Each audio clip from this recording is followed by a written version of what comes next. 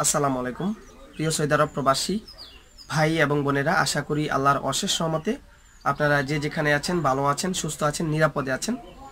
আজকের মূলত ভিডিওটি করা হয়েছে, আপনারা যাতে প্রতারকদের কাছ থেকে অন্তত নিরাপদে থাকতে পারেন এবং যাতে আপনারা প্রতারকদের ফাঁদে পা না দেন এবং সতর্ক থাকেন, সেজন্যই ভিডিওটি করা।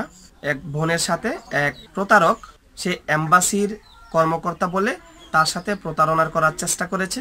কিন্তু বোনটি একটু চালাক হওয়ার কারণে আসলে সে প্রতারিত হয়নি।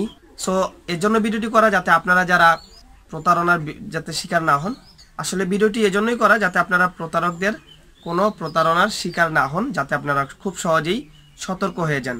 আমি প্রথমেই বলছি, আপনার মোবাইলে আসা কোনো রকমের ওটিপি কোড বা ভেরিফিকেশন কোড কাউকে দেওয়া যাবে না। আবারও বলছি, আপনার মোবাইল নাম্বারে কোনো রকমের কোড বা কোনো রকমের নাম্বার বা এস এম এস আপনি কাউকে দিতে পারবেন না। যদি আপনি কাউকে দেন, তাহলে আপনি বড় ধরনের বিপদের সম্মুখীন হবেন। এমনকি আপনার গুরুত্বপূর্ণ ডাটা বা ইনফরমেশনগুলো সে কালেক্ট করে আপনাকে ব্ল্যাকমেল করবে এবং আপনার কাছ থেকে লক্ষ লক্ষ টাকা সে হাতিয়ে নেবে, আপনার কাছ থেকে ব্ল্যাকমেল করে। তো কোনো রকমের ইনফরমেশন আপনি কাউকে দিবেন না। আর বিশেষ করে বাই ট্রাস্ট করেন অ্যাম্বাসির লোক কখনই আপনার কাছ থেকে কোনো রকমের ওটিপি কোড চাবে না। আর এম্বাসির লোক কখনই আপনার কাছ থেকে অ্যাডভান্স কোনো টাকা চাবে না। যদি কোনো কাজের প্রয়োজন হয়, আপনি সেখানে গেলে তারা ওইখানে যা ফি প্রয়োজন বা যে ফিসের দরকার হয় সেই ফিটা দিয়েই আপনি কাজ করতে পারবেন। আপনার কাছ থেকে অনলাইনে কখনোই টাকা চাবে না বা কোনো রকমের ওটিপি কোড চাবে না। মূলত যারা প্রতারক আছে, তারা বিভিন্ন পদ্ধতি অবলম্বন করে প্রবাসী ভাইদেরকে বা প্রবাসী বোনদেরকে প্রতারণার ফাঁদে ফালিয়ে তাদের কাছ থেকে টাকা হাতিয়ে নেয়। সো আপনারা একটু সতর্ক হবেন। তো আপনারা চলেন, শুনে আসি যে আপুর সাথে কীভাবে প্রতারণাটা হইতে চলছিল এবং সে কি কি বলছিল, আমরা এই বিষয়ে একটু শুনি। আর একটা রিকোয়েস্ট করব, এই ভিডিওটা প্রথম হচ্ছে শেয়ার করবেন, আর দ্বিতীয়ত আপুর পুরা কথাটা শুনবেন। তাহলে আপনি বিষয়টা বুঝতে পারবেন যে প্রতারকরা কীভাবে প্রতারণা করে। তো চলুন, আপনারা একটু শোনেন বয়সটা। আসসালামু আলাইকুম ভাইয়া, কি অবস্থা? ভালো আছেন? খাওয়া দাওয়া করছেন? তো ভাইয়া, আমি আপনাকে একটা ফোন দিচ্ছিলাম। আপনি তো ফোনটা ধরেন নাই আচ্ছা সমস্যা নেই, আমি বয়স দিতেছি আপনারে। মানে একজন লোক আমাকে ফোন দিচ্ছে আজকে সকালবেলা। মানে অনেকগুলো ফোন দিচ্ছে যে, তখন আমি ফোন রিসিভ করতে পারিনি আমি কাজে ছিলাম। আমি একজন সৌদির প্রবাসী।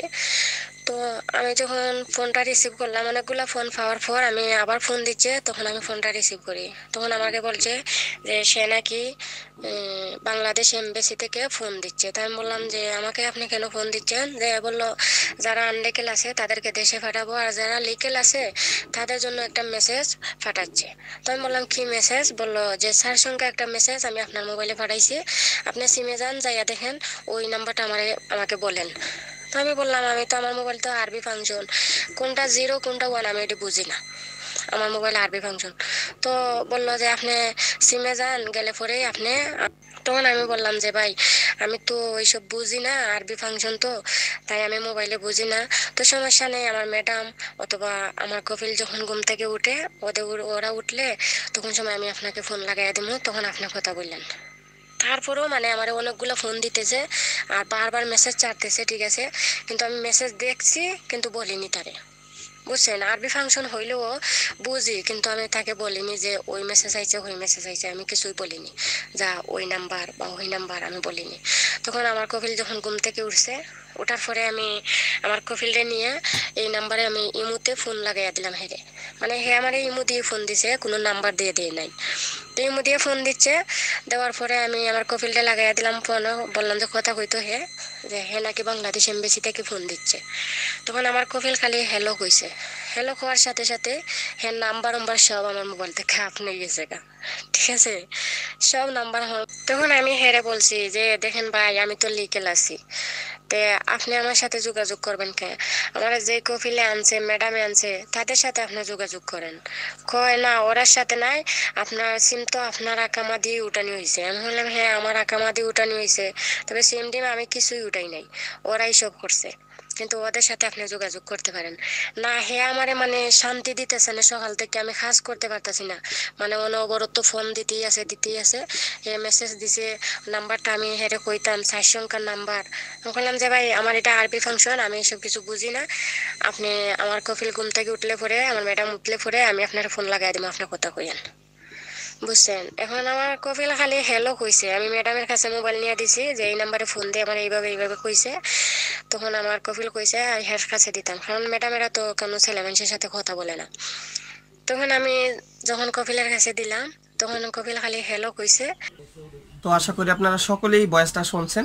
তো আসলে বুঝতে পারছেন বিষয়টা কি রকম হয়েছে। আপনারা সবসময় প্রতারকদের কাছ থেকে দূরে থাকার চেষ্টা করবেন। কোনো রকমের লিঙ্কে ক্লিক করা যাবে না। কোনো রকম মেসেজ কাউকে দেওয়া যাবে না। কোনো রকমের কোড কাউকে দেওয়া যাবে না। কাউরে কাউকে কোনো রকমের আপনার মোবাইল নাম্বার বা কোনো ইনফরমেশন কোনো কিছুই দেওয়া যাবে না। এইটুকু আপনারা সতর্ক থাকবেন, তাহলে আপনারা প্রতারকদের কাছ থেকে আশা করি সতর্ক থাকতে পারবেন, প্রতারণা থেকে বাঁচতে পারবেন। তো এই ছিল ভিডিও, আর ভিডিওটা শেয়ার করবেন, আর ভিডিওটা ভালো লাগলে একটা লাইক দিবেন, আর যারা চ্যানেলটিকে সাবস্ক্রাইব করে নেই সাবস্ক্রাইব করে পাশের বেলটি অন করে দেবেন। তো সবাই ভালো থাকেন, আল্লাহ হাফিজ।